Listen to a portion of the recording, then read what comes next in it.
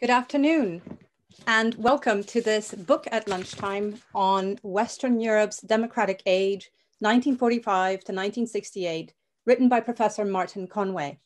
My name is Maria del Pilar Blanco and I am the academic champion for networks and partnerships here at Torch. I'm delighted to welcome Martin Conway to speak about his book today. Also on the panel today are Professor Marc Mulholland, Professor Stathis Kalyvas and Professor Patricia Clavin, um, who will be chairing the discussion. Western Europe, uh, Europe's democratic age asks why and how Western Europeans were converted to democracy after 1945, and how, even in the face of Soviet power, such democracies endured and flourished to such an extent that by the 1960s, the democratic identity of Western Europe seemed irreversible. Martin Conway's book explores this fascinating sea change in Western European political norms. So in a moment, I'm going to hand over to Professor Clavin, who will chair the panel. This will be followed by some brief comments by Martin, by Professor Conway. Afterwards, um, our commentators will present their thoughts on the book, coming at it from their particular disciplines. We will then give Professor Conway the chance to respond to the discussion. And then the event will conclude um, with questions from you, the audience. And I ask the, all the audience members to please pop their questions in the Q&A box, which appears at the bottom of your screen. And we also recommend that you get those questions in as early as you can to avoid disappointment. So it's a great pleasure to be here to introduce this fourth book at lunchtime in this academic year. Book at Lunchtime is Torch's flagship event series, taking the form of fortnightly bite-sized book discussions. This, week, this term is uh, weekly. And we also have a range of commentators with each, um, with each presentation. Please do take a look at our website and newsletter for the full program next term. So all that's left for me to do now is to thank you all for coming and to introduce the speakers on today in today's book at lunchtime. So Martin Conway, whose book we are celebrating today, is Professor of Contemporary European History and Maclellan Warburg Fellow in History at Balliol College. Martin's body of work has focused on 20th century European history. He is the author of a number of books on aspects of mid 20th century um, Europe, including uh, one of his books is The Sorrows of Belgium, Liberation and Political Reconstruction 1944 to 1947. That was published by OUP in 2012. And he recently co-authored a collective study of post-war periods in European history entitled Europe's Post-War Periods, 1989, 1945, 1918, and that was published by Bloomsbury in 2018. Patricia Clavin, our chair for today's panel, is Professor of International History at the University of Oxford and Zeitlyn Fellow at Jesus College. Her current research explores how economic, social, and even environmental issues took on as much importance as familiar concerns of border protection and weapons control in the search for security after 1918. Her recent books are Securing the World Economy, The Reinvention of the League of Nations, published by Oxford in 2013, and Internationalisms, A 20th Century History, edited jointly with Glenda Sluga and published by Cambridge in 2017. She is a fellow of the British Academy and a foreign member of the Norwegian Academy of Science and Letters. And now onto our panelists. Marc Mulholland is Professor of Modern History at St. Catherine's College here in Oxford. His research interests cover Ireland since the, fa the, famine, the famine sorry, and the history of political thought since the French Revolution. His publications include Bourgeois Liberty and the Politics of Fear, From Absolutism to Neoconservatism, published in 2012, and The Murderer of Warren Street, the true story of a 19th century revolutionary, published in 2018. Stathis Kalyvas is Gladstone Professor of Government and Fellow of All Souls College at Oxford. Until 2018, he was Arnold Wolfers Professor of Political Science at Yale University, where he founded and directed the program in Order, Conflict and Violence and co-directed the Hellenic Studies program. In 2019, he founded and, and directs the T.E. Lawrence program on conflict and violence at All Souls. He is the author of such titles as The Rise of Christian Democracy in Europe, published by Cornell in 1996, The Logic of Violence and Civil War, published by Cambridge in 2006, and Modern Greece, What Everyone Needs to Know, published by Oxford University Press in 2015. So now I hand it over to Patricia and I will come back uh, at the end to field your questions. Thank you. Thank you, Maria. Uh, it's a great pleasure to be here with everyone this afternoon, and I'm delighted to um, introduce my friend and colleague Martin Conway uh, and his eagerly awaited wonderful new book. And I think without further ado, I think we're all anxious to hear from Martin, you know, something about the new book and, and, its, and its key arguments. Thank you very much, Patricia. Thank you to everybody indeed for organising this event and for and for the to the participants for for joining the panel. Um, yeah, democracy has a history. That might seem a rather obvious trite point to make, but it seems to me that it's one that we need to make right now. We need to make it for all sorts of reasons, and not all of those reasons are in North America. Those reasons are also in Europe, West and East, and indeed across a broader world where the issue of democracy seems to have become, in many ways, an issue of contestation, an issue of discussion, an issue of debate. Why? Well, because I think we're trying to confront the turning from the 20th into the 21st century and a recognition that probably we've entered an era of much more uh, contest around democracy a phrase one might use about various things that have been happening in North America, but also elsewhere, is it's sort of democracy without rules. And so the purpose of my book and the purpose of my talk today is simply to take us back to an, a bygone era and to look at how democracy worked differently in a past era. I'm a historian, I'm not a political scientist, unlike Stathis. I don't claim that what I'm talking about has a direct relevance for the issues around democracy today, but I think it's useful to go and look at this very particular moment in European history after 1945, when Western Europe, Eastern Europe was, of course, a different story, but in Western Europe, there was what I would regard as a very decisive watershed moment of the adoption of democracy or of a particular model of democracy as a hegemonic political system in Europe. And as a preface to that, it's important to remember just how unsuccessful and how violently opposed democracy had been in Europe prior to that moment. This isn't just about the Third Reich, it's about the way in which something like 1848 had not given birth to a, a, period of progressive mass democracy in Europe, or indeed, as every student knows, that 1918 was not the, the German defeat was not the beginning of a democratic age in Europe but 1945 was. Why should that have been?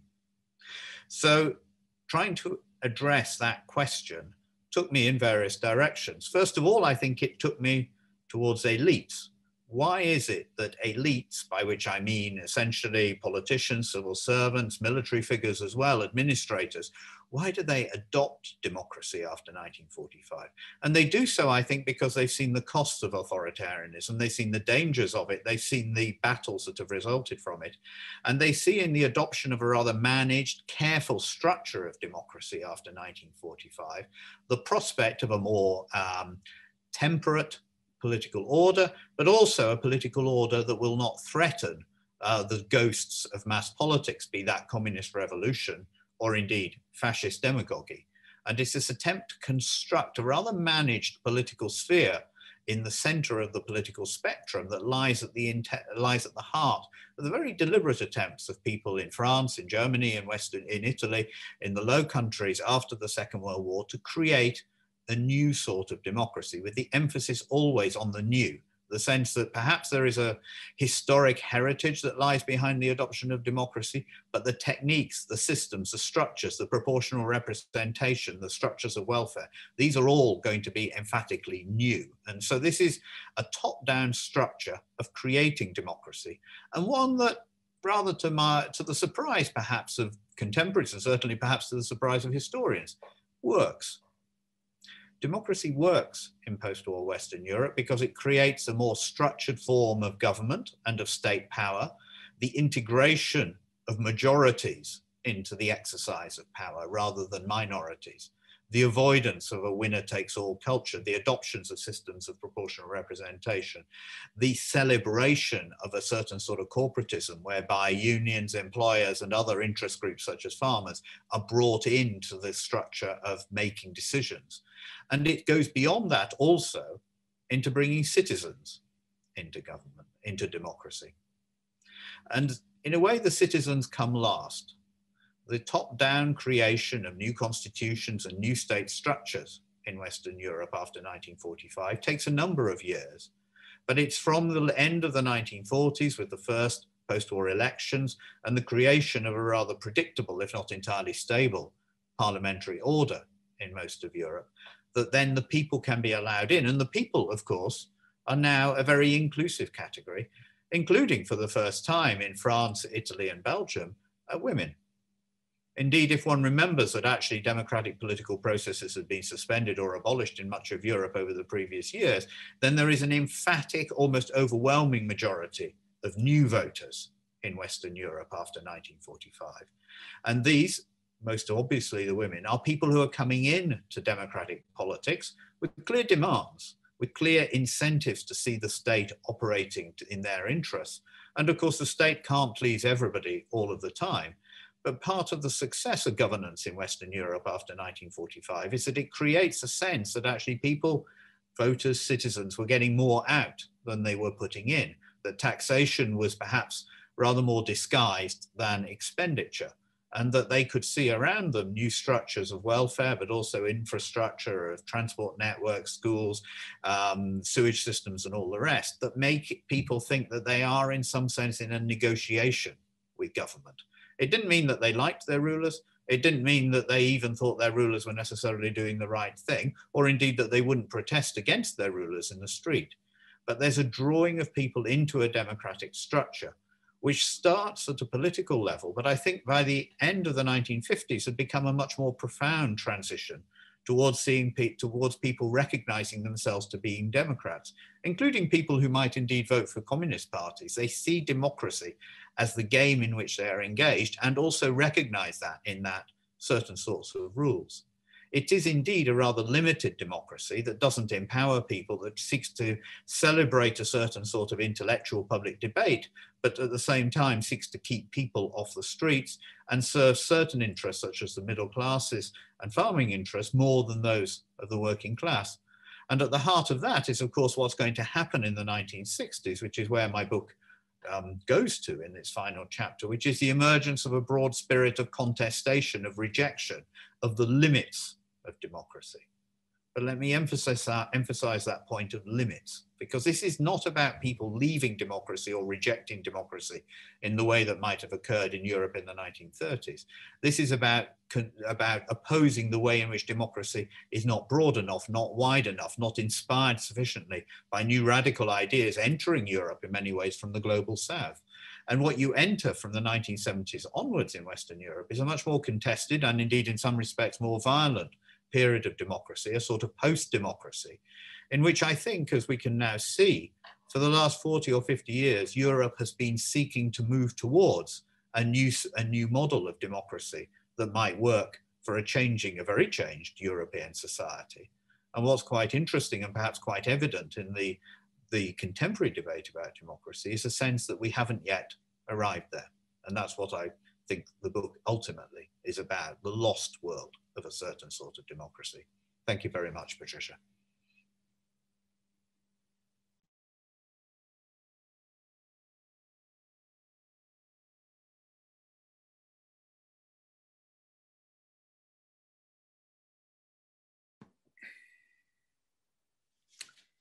So it's my turn to um, uh, have this opportunity to comment on this book. And I would like to thank the organizers for um, the invitation and the prompt to read the book that I found uh, to be fascinating. I'm the political scientist on this panel, uh, and political science is part of the argument. And I'm going to say a few things about that. But I'm also, among political scientists, I get, I guess, uh, much more uh, historically sensitive or oriented. So I approach these kinds of works not just um, uh, with very much sympathy but also uh, I find them a great opportunity to learn um, and to, to plunge myself in, in the details of how concepts that we approach very often in a very abstract way have their own life and tell us much more than uh, it, we see on the surface. So I'd like to make um, three general points about this book and raise a number of questions. Uh, and these are going to be, first of all, the, the question uh, and the approach of the book. The second one is going to be about the nature of democracy. uh, in post-war um, Western Europe. And the third one is the way the book, I think, resonates with um, current debates and, and in a sense, feeds into, uh, I think, a necessary and productive thinking uh, about the nature of democracy in general. So on the question, um, as Professor Conway said, this is an attempt to contextualize something that a lot of us have taken for granted, uh, which is the emergence of democracy uh, in Europe, in Western Europe in 1945. The assumption is, well, the war ended, uh, the Cold War divided uh, Europe into two spheres of influence. In a sense, the East um, grew in uh, resembling the Soviet Union, and, and, the West inevitably grew to resemble the United States and, and Great Britain, the, the, the, winners of the Second World War. And, and that, to some extent, is is, a, is sort of very schematic and, and not necessarily incorrect understanding of what happened, but it simplifies very much. So the book contextualizes uh, the process of uh, the birth of post-war um, uh, European regimes, democratic regimes, and, and gives us a sense of what kind of democracy these were, democracies these were. Um, there were uh, two uh, points of interest here for me coming from a perspective uh, that emphasizes very much um, the sort of messy politics of violence and conflict, which is in 1945, the situation in Europe is still very chaotic, very unpredictable, and very violent. Uh, and in fact, there's been an emphasis, uh, uh, I think, on works that look at this violent birth of democracy. Uh, for example, in the last 10 years, there's been quite a lot of research uh, on uh, the very high levels of violence exercised um, in northern Italy, for example, by former resistance against former fascists. And um, all these um, um, background of violence uh, that existed uh, at that time in Europe. There's uh, a set of very nice books, including some more journalistic but uh, very interesting approaches. Ian Buruma's uh, Year Zero, for example. And so to look at um, the flip side of that uh, is refreshing in a way because we haven't had enough, I think, um, to look at the process of the nitty gritty of setting up functioning working regimes uh, that eventually lasted. Um, and, there is, this, in a sense, here a bias. Violence makes you know more news, attracts more attention, produces you know feeds more research. But the nitty gritty, sometimes uh, boring processes of uh, the construction of new institutions uh, do not have this kind of flashy um, aspect. And I think the book uh, here is, is a major corrective to that. And in fact, when you look at the nitty gritty, there are so many questions that pop up on how these institutions were set up and in, in, ways that uh, made them durable. And I think the book gives us a lot of um, detail and food for thought on, on that kind of process.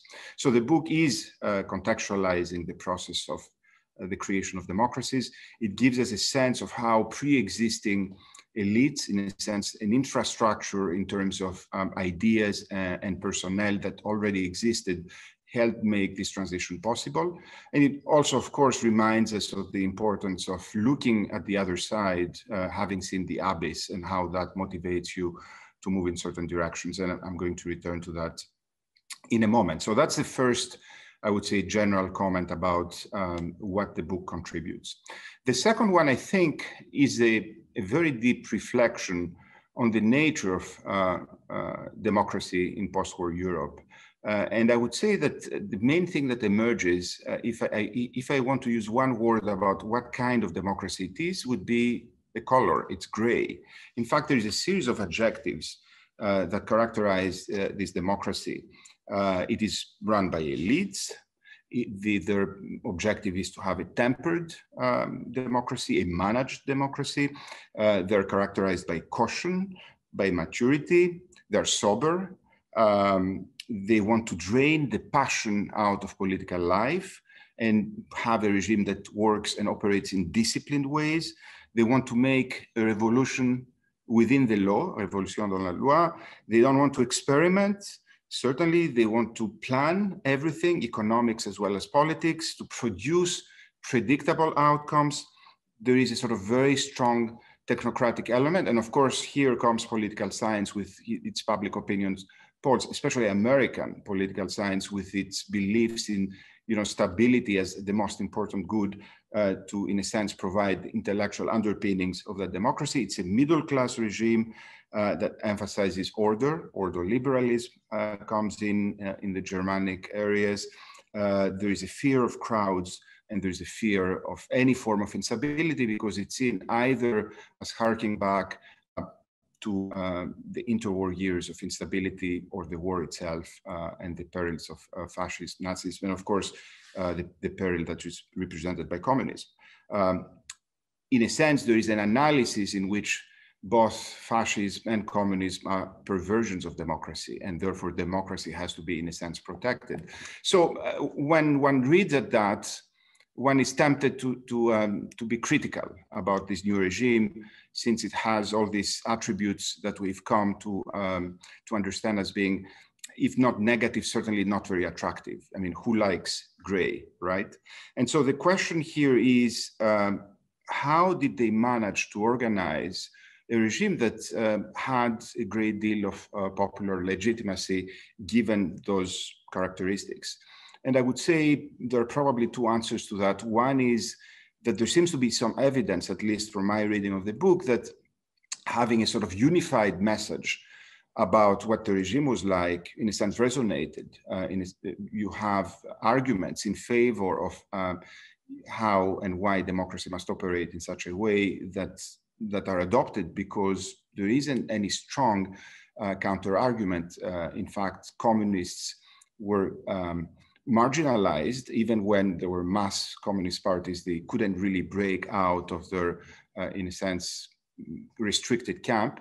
And, the extreme right uh, was uh, extremely limited in what uh, they could accomplish. So in a sense, the center was, was prevalent intellectually as well as politically. And so that is one explanation for why uh, this democracy was able to operate. And the second explanation, of course, uh, is that um, this is the period of the Cold War.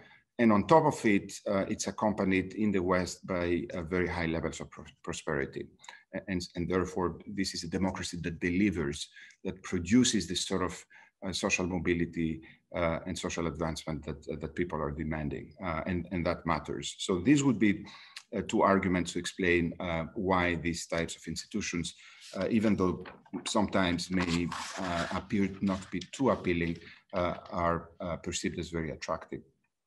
The third point that I want to make um, is how is this model of conservative democracy speaking to us today? What is there to be learned about it? And I think that the discussion resonates in, in more uh, than one ways because we seem to be living in what um, the book concludes is, is an era of post-democracy that emerges uh, in the late 60s uh, and is exemplified initially by the demands articulated around the May 68 revolts for a different type of democracy that's going to be more generous, more open, more radical, uh, more uh, comprehensive, uh, more embrace, embracing of, of, people who were left out, less gray, more colorful, less planned, more crowded. Uh, that will be everything that the previous one was not. Uh, which is still you know, uh, something that is being demanded. Uh, it seems like an open-ended process. So in a sense, the book assumes some sort of potentially uh, linear progression and opening up.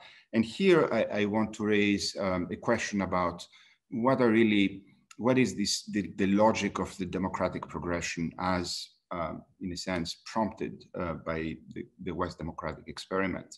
Um, and I would argue that perhaps uh, we're not looking at the, it at a linear sort of progression, but more at, at a sort of um, cyclical one. Uh, it may be that the dialectics of democracy, or indeed dialectics, that we have a process uh, of, of cyclical recycling in which every new stage includes elements of the previous one, uh, but not necessarily uh, in, in a way that was expected. So in a sense, uh, let me complicate a little bit uh, the scheme that is um, assumed, or uh, I can infer at least from, from the conclusion of the book, and say, well, we have, we start with, with 20 years of very stable, very conservative, very centrist, very limited, but at the same time, very predictable, uh, very much accepted and very successful democracy that is challenged in the late 1960s.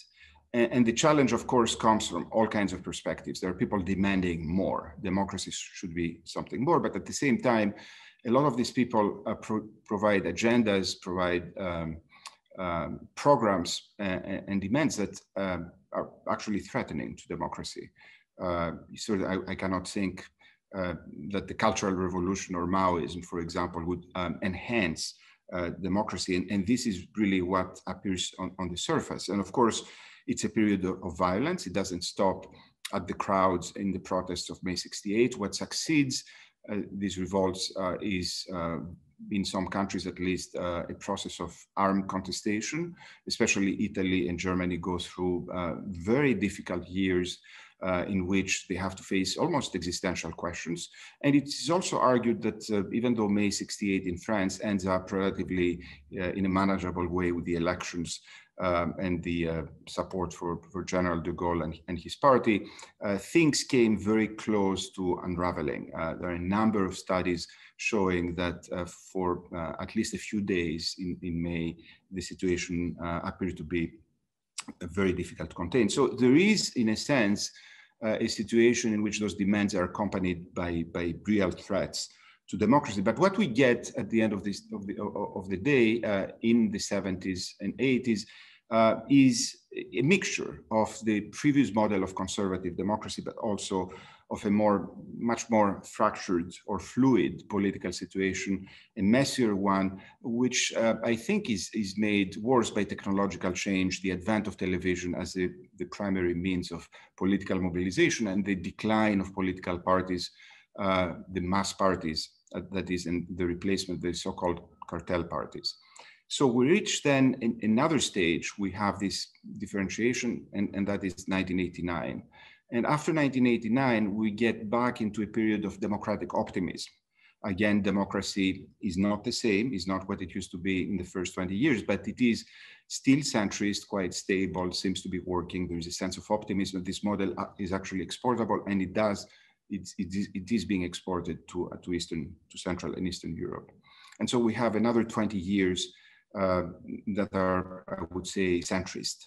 And then uh, we are in the period we live in uh, now with the advent of populism, which is, in a sense, a replay uh, of the demands of the 1960s. On the one hand, you have the demands for broadening, broadening of the agenda, you know, uh, occupy Wall Street, uh, more people should be expressed, direct democracy, but then also the reality of the threats, which are the populist movements uh, that are motivated by very different ideas, even though they take the mantle of expressing people who are left out or believed to be left out, people who think of themselves as being marginalized, and that is expressed in the way we know.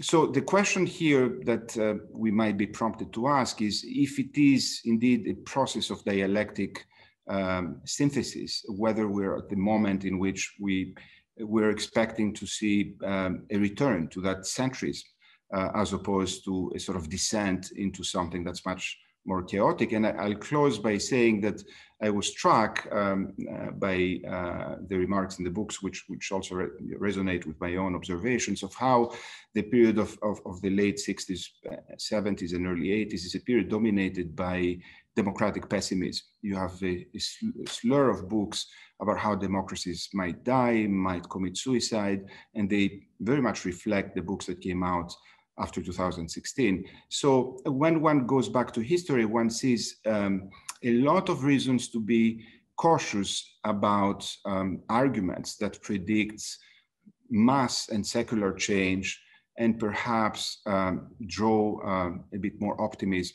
and hope by um, these kinds of cyclicality. So I really enjoyed reading these books. I got many ideas out of it and, and I'm very happy to be here discussing it. Thank you very much.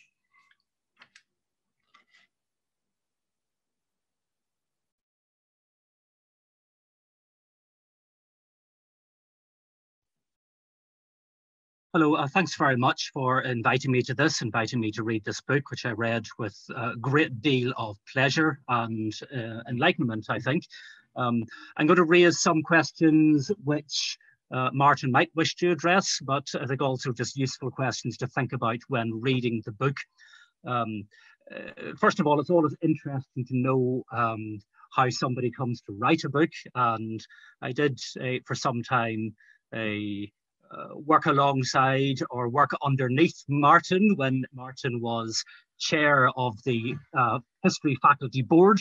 Um, so I'm curious to know to what extent that the practice of democracy and management, which of course such a job requires, was illuminating for looking at the much larger picture of Europe's uh, post-war democratic moment. Um, Martin, a number of times in the book, evinces a skepticism about whether Western Europe really exists as an entity or whether it exists as a new entity. Um, nonetheless, it's clear from the book that there are conceptualizations of Western Europe. Um, the a Abendland, the, um, uh, conservatives speak of the uh, kind of twilight land, um, a, or a new place, Western Europe. Uh, this kind of sense that Western Europe um, meant something historically, yet it's one which Martin says comes to an end in 1989.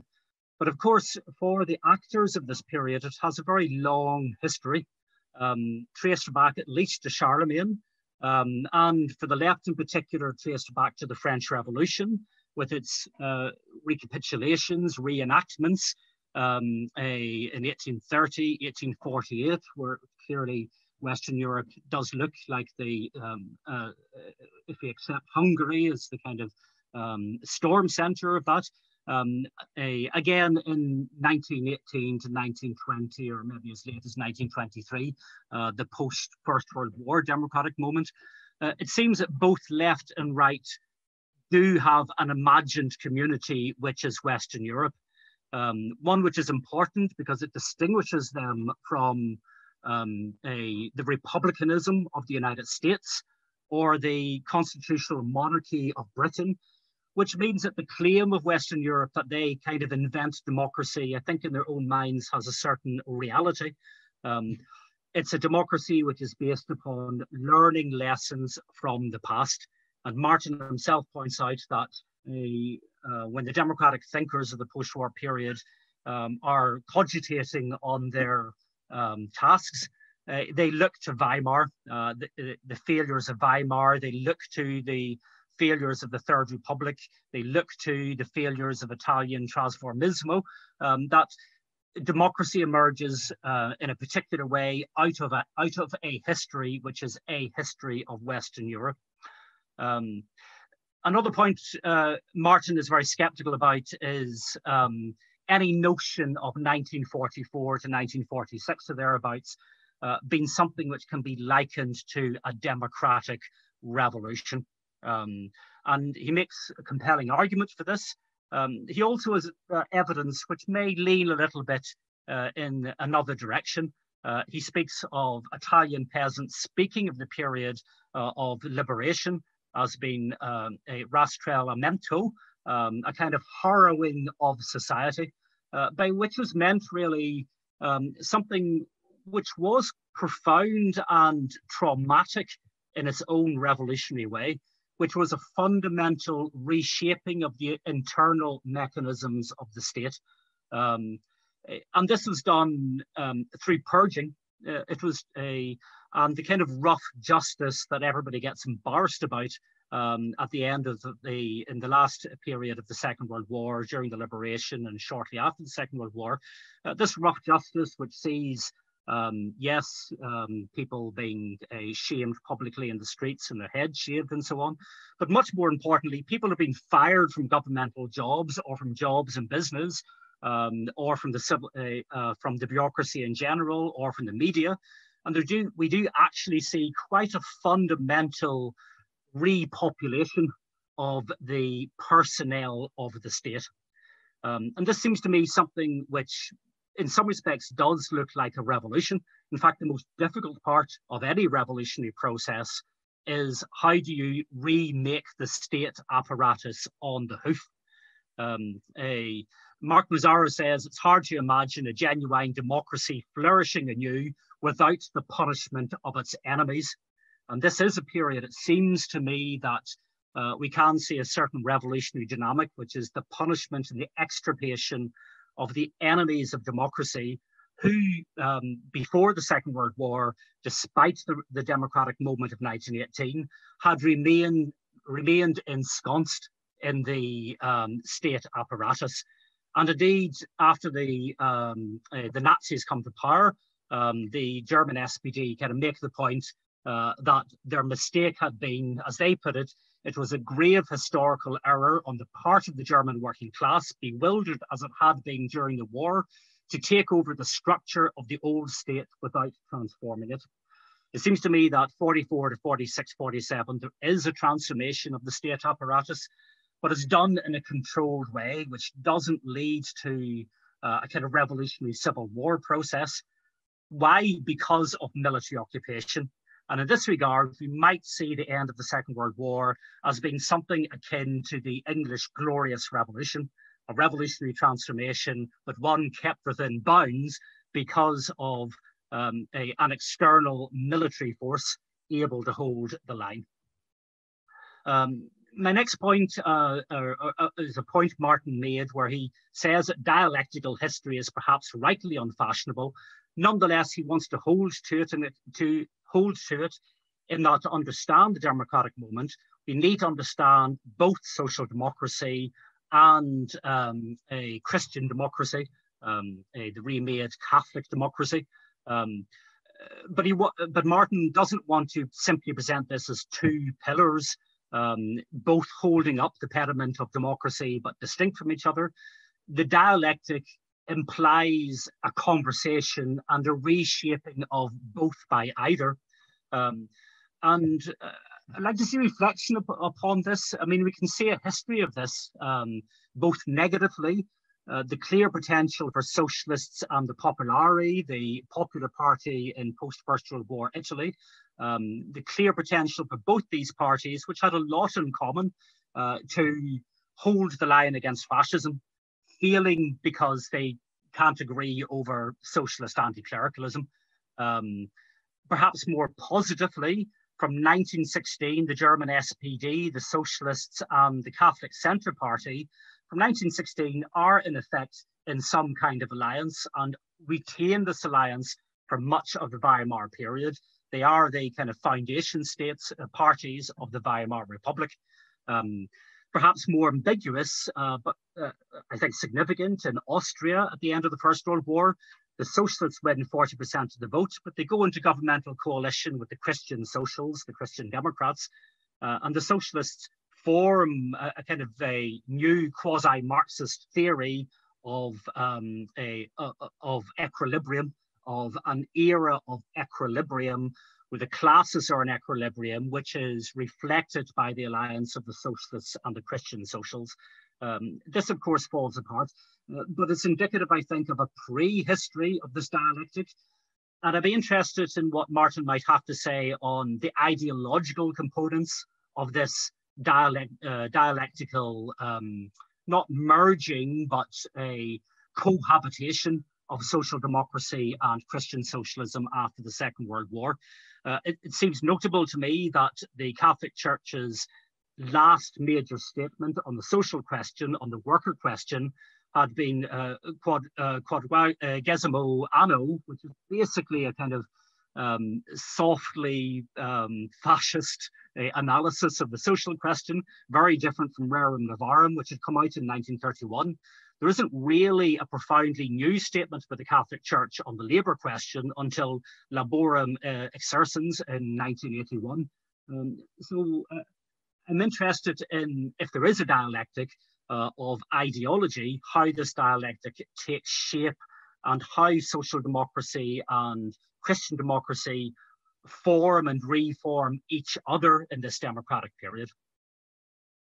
Um, a, Martin also makes the point about the significance of the post-war democracies in Western Europe resting on the social alliance of the middle class, the lower middle class and rural electors with the exclusion of the working class I think clearly there's much to this. It varies from one country to another. Perhaps the uh, working class wages are held below productivity uh, increases, most significantly in France. And in France, of course, is where you have a major working class rebellion in uh, 1968.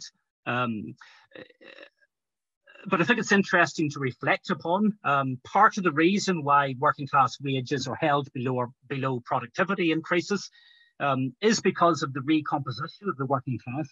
Um, that wages are held down because there's lots of new workers appearing, particularly from the former peasantry becoming urban working class. And of course, these former peasants, new workers, are in general much better off um, a, uh, as they become workers. They are being paid much more than they would have been paid, let's say, as agricultural laborers. Um, so it seems to me that uh, the latent working class um, agency and power is still there throughout the period, um, but it only becomes, uh, reaches something like a, a, crisis, if I may use that term, or climacteric in the 1970s um, because of the profit squeeze, that really the um, space for increasing wages but keeping wages below productivity comes to an end in the 1970s when profits begin to be squeezed. And that's when you get a fundamentally new problem, if you like, for Western European capitalism, which is the taming of this latent working class power, the breaking of the trade union power of the working classes. Um, and finally, and I uh, just a, a, short brief point, but recurring a little bit to the question of the dialectic, um, a, uh, Martin makes the point that there are people who are anxious to re-envisage democracy by the time we get to 1968.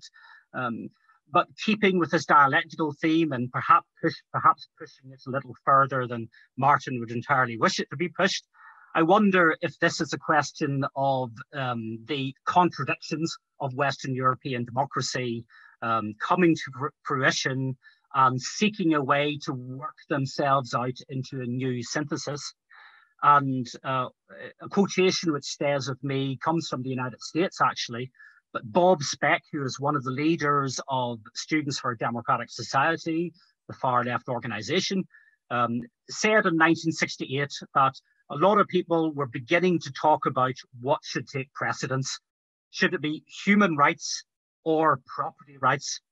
And he went on to say, there's a hell of a lot of people who can go either way on that. And it seems to me that's actually quite indicative of what's going to develop. That within democracy is the question of human rights and property rights. And in some respects, what happens in the subsequent decades is not that one or other is prioritized, um, a, is prioritized, but rather both work themselves out in a certain dynamic. The rebellion of the tax-paying middle classes in the from the 1970s in particular uh, in terms of property rights um, and in human rights, the rise of identity politics of a feminism, new way of feminism, uh, gay rights, um, a minority rights, and so on. Um, and it seems to me that these are elements which had already been uh, part of the West Democratic European settlement, um, a, but there are contradictions within the settlement uh, which come to a um, which build up and explode from 1968 onwards before a new kind of settlement is arrived at, a broadly neoliberal settlement for the 1980s. Uh, I enjoyed this book uh, very much. I'm sure Martin couldn't hope to deal with all questions I tried to raise here today, uh, but I'll be interested to hear any reflections he might have. Thank you very much to everyone. Many thanks, Mark. Uh, uh, and, and may I add my voice of congratulation uh, to Martin and, and thanks to the, my fellow panelists, really. I think what's really marvelous about this book is that it's a book to think with. And all the time I was reading it, I had the impression I was reading too quickly.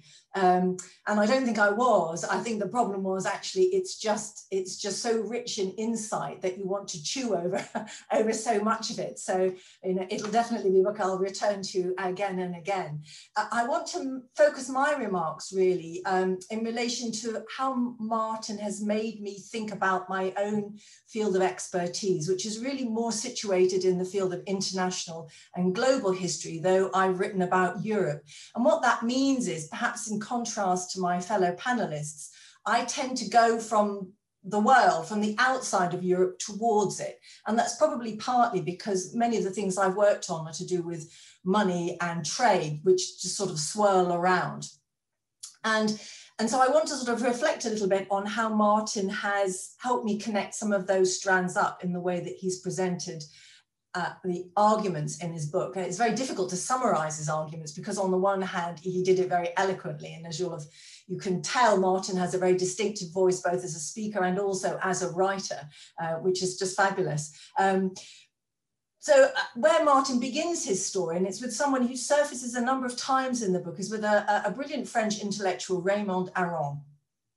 And Aron writes um, important works on, on democracy and on Europe uh, from the 50s, 60s. He actually does his thesis work on, on Franco-German relations in the 1920s. So there's the same sort of chronological connection also between Martin and Aron.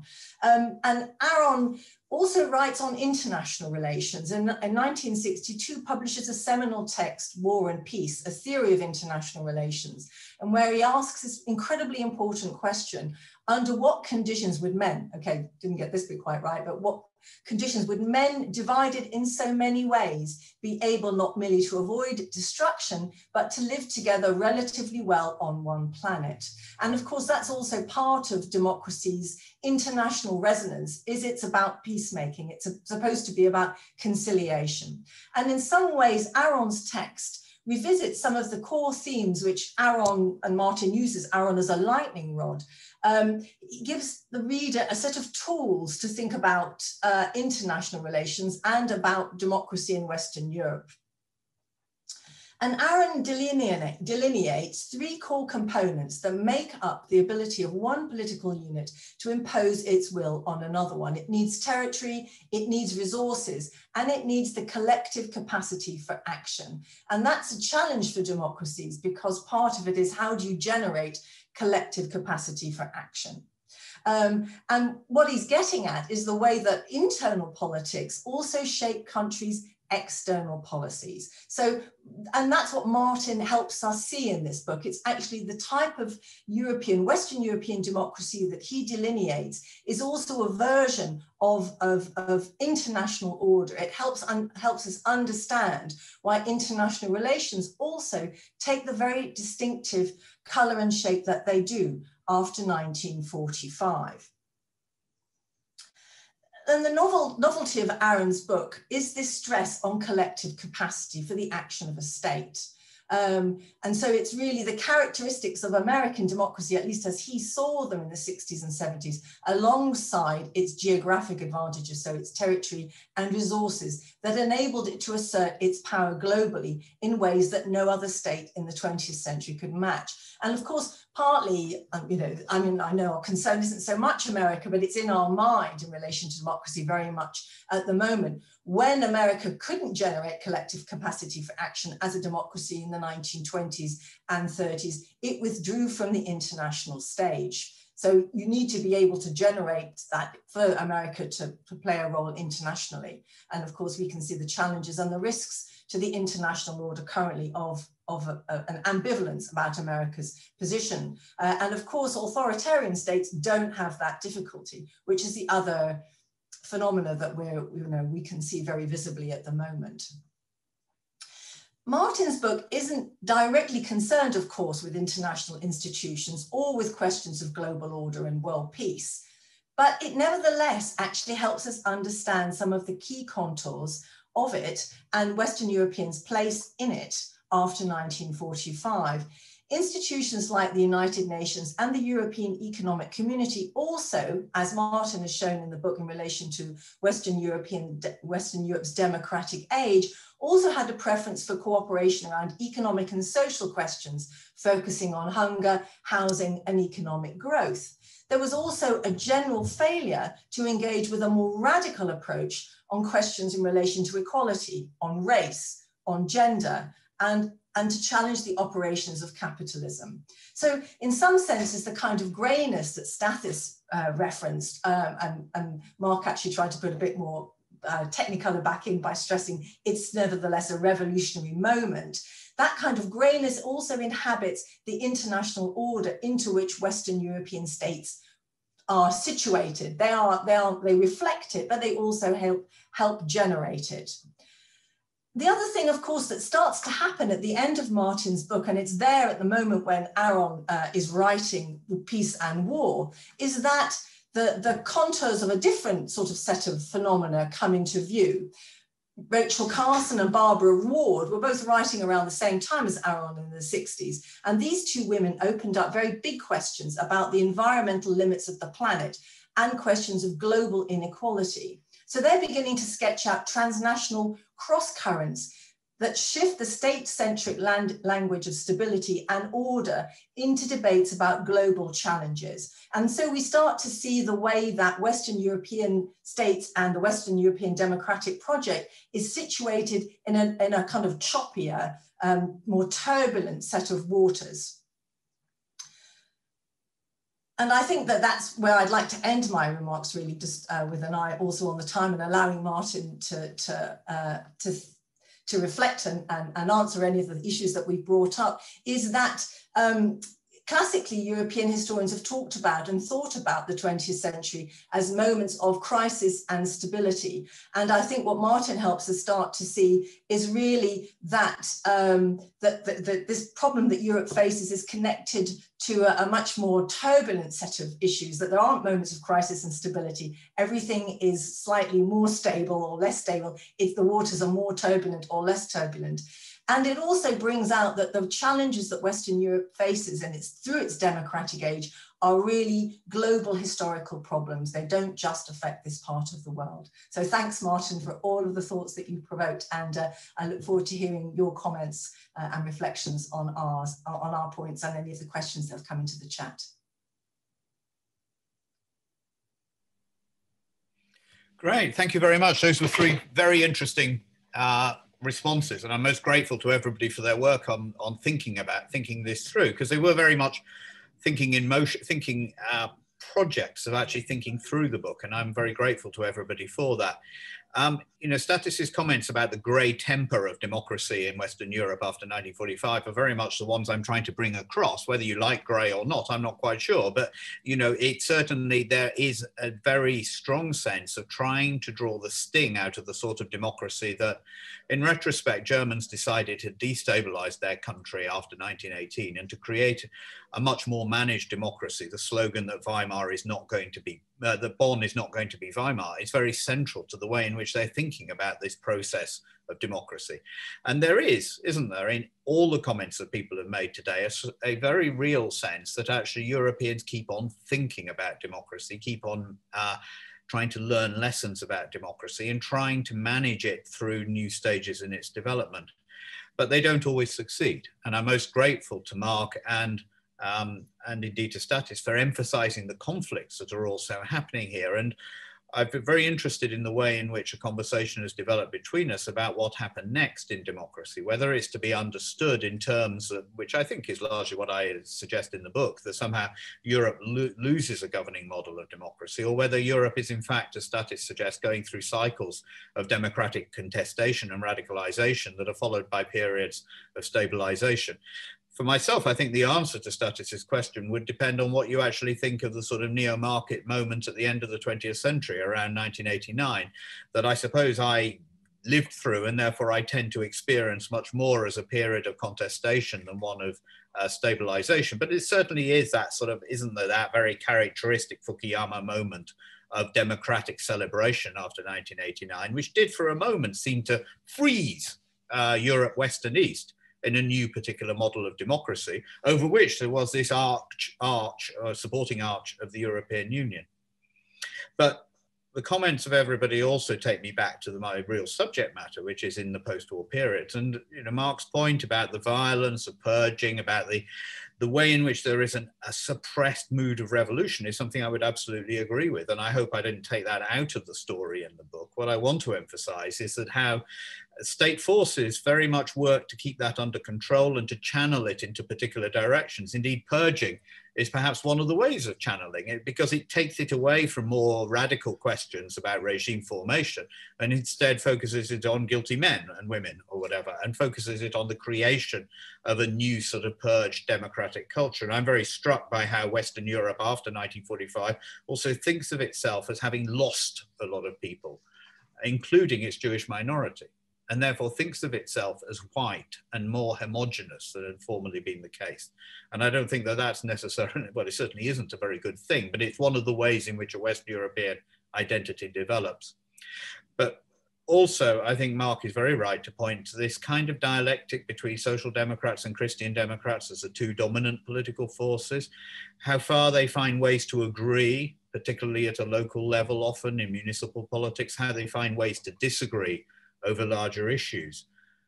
And one tends to think of that in terms of the loss of a rather more militant Catholic Christian dimension, especially with the Second Vatican Council. But I'd also point to the way in which, isn't it interesting that social democracy in Western Europe after 1945 or perhaps after 1950 loses that society changing dynamic and instead takes refuge in a language of the uh, incremental change of a modern of a modern society where things are never going to change in a radical way. And therefore, social democrats and Christian democrats can find plenty of issues to agree about when, for example, in Belgium, they often rule together, but can argue hugely, but to no particular point, about state schools versus Catholic schools, which are, is clearly a really rather secondary issue. I should leave it there and let others respond.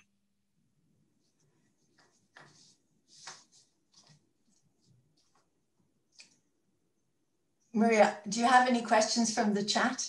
There are no questions from from the audience, I'm afraid. Can, uh, can, I, can I ask a question, Stathis? I mean, you, you're quite serious about this idea of cycles of radicalization and, cons and consolidation in democratic history in the last 50 years or so? Uh, yes, in, indeed. I've been thinking very much about this um, uh, because I've been very sort of um, uh, involved in this present debate. Um, and if you if you look at the uh, at the, uh, the main thrust uh, of a lot of reactions uh, to the uh, Donald Trump election in 2016, uh, you, you know, you, you distinguish, you, you, find two things. The first one is um, an absence of, uh, of memory about how politics were be before that. There is a sense that everything was going right, everything was settled. in a sense, everything was gray, but gray was good and then suddenly we have this kind of challenge and it's the end of it. So that was my, my first reaction that you know in fact the history of democracy in europe and elsewhere has not been as um, uh, uniform as homogeneous as assumed in present day sort of analysis. And the second thing is i, I see this kind of, um, uh, of, of cyclicality in the sense that when when things are too great people want excitement. When things get too excited people want to go back. And there is this wonderful film uh, by Federico Fellini, which is um, uh, the director, the orchestra director. I don't know if you've seen it, which basically uses an orchestra that uh, revolts against the maestro uh, in the name of uh, self-management. Um, and it collapses, and then at the end, it sort of reconstitutes itself. And, and Fellini gives it a very ominous uh, interpretation. He, in a sense, he's suggesting that fascism is coming back. But it may just be that the nature of things is such that when we don't have enough passion, when, when there is not enough passion in politics, people become disengaged, turnout goes down, um, people are not interested in politics, and then passion comes back, everyone is interested, the turnout in elections goes up, but everyone is worried at the same time. So there is a. That is, you remind me of, a, of an Afghan taxi driver I've had who said to me, um, in response to the turbulence in this country that it was a consequence of the fact that people had been too comfortable and been watching football and going to the pub. Whereas in afghanistan you could never stop being engaged in politics precisely because it was so so you know it might be that that perspective is also a kind of european one that we we settle down but in certain parts of the world it's never been peaceful. It's never been democratic. Exactly. And the, you you ask yourself you know what is the uh, the the the, uh, the, content of how does the, the the word normal sound? Sometimes normal sounds bad sometimes normal sounds good and that gives you an indication of where you are. But it's very obvious after 1945 that a lot of west europeans said they wanted to get back to normality. And you know which was a very dominant phrase after the exceptionalism of the war years. But of course that normality didn't exist anymore. It had been blown apart you know bombed from on sky or populations have been moved around but the, the less accept the less available normality is the more people are more inclined to use the word perhaps just like now there's the famous saying that uh, may you live in interesting times which always takes on a, on a very sort of negative uh, tinge depending on, on when you know yes. it. I think you know probably what Mark and I would both say about your argument is that it doesn't necessarily bring out the sort of radicalism of a certain sort of right-wing populism or the the sense of anger generated by marketization of European societies, which I think is very different from the world that I'm describing, when actually people could look forward with a certain sort of predictability to a, a modestly better future. So I think I think at this, this is a good point uh, to finish our book at lunchtime. I'd like to thank uh, Martin Conway for writing this book uh, and for being here with us. Patricia Clavin, please thank you so much for sharing our panel. Mark Mulholland and Stathis Kalyvas. I, I just I'm really really um, I'm really enthused by, the, by this conversation. I'm coming from literature, so uh, I, have learned a lot today. And I feel this is a conversation that needs to continue, hopefully at a pub or somewhere social in normal times. and I'm using that type of normal. So thank you very much. I welcome the, I thank you to the audience for being here. And uh, I, I, like I said at the beginning, please take a look at our schedule because we have some great uh, book at lunchtime series um, episodes occurring next week and until the end of term. Thank you very much, everyone. Thank you. Thank you.